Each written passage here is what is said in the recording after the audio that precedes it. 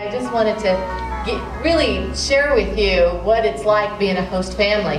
We've had uh, students for two years, and just last, just Friday night, we were coming back from dinner. We were laughing over the things that Yuki had said or something that had happened, and my son Nick said, even two years later, he said, you know, that was my senior year, and that was the best year of my life. And these little tough boys, little tough guys, I remember seeing them weep at the airport as their friend left. It's so touching even as I think about it. It just touches my heart. And this is what I want you to know. I was trying to think of what would be meaningful and I thought, you know, to share their first Christmas, to share their first Black Friday shopping, to share their first eating a hot dog in the car because they don't eat in cars. They are so helpful. They probably study 20 to 30 hours a week. I've never, it's like the teenagers you always dreamed of, but you've got to import them from around the world.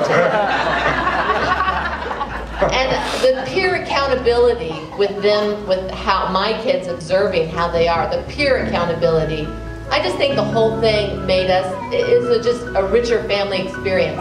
We're more mindful about what we eat, about how we would discipline our children, you know, how you might just mouth off or say something that might be a little rude. You might not say it like that in front of people. It's just true.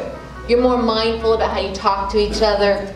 And uh, so they're kind, helpful, studious. They do the dishes, everything mine always did. The dishes, like, I never, I didn't know how to act. It was just lovely. And uh, we're extremely excited about having them again for the third year in a row. So if you're, and if you think you're busy, get two instead of one.